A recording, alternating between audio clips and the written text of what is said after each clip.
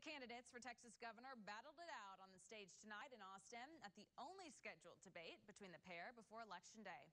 Big 2's Wes Rapaport joins us from the debate hall with a recap.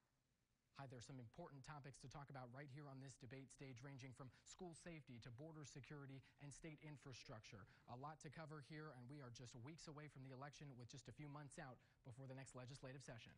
Four years ago, I promised to make Texas even better. And since then, working together, we've elevated Texas to new heights.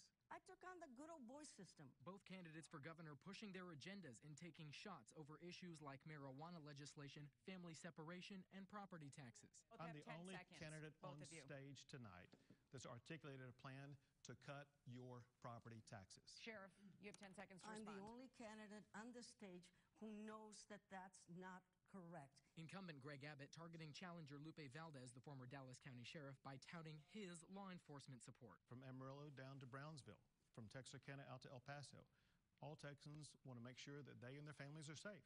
One reason why I talk about safety tonight is because I talk about safety every day.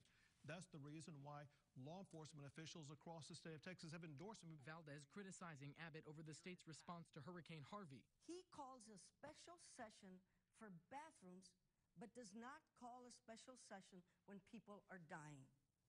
The rainy day fund is the biggest savings account in the United States. Governor, it rained. Both said they would support removing a historically inaccurate Confederate plaque in the Capitol. Throughout, both of the people vying to lead the state of Texas say they recognize the hurdles. I want to give everyday Texans a fighting chance.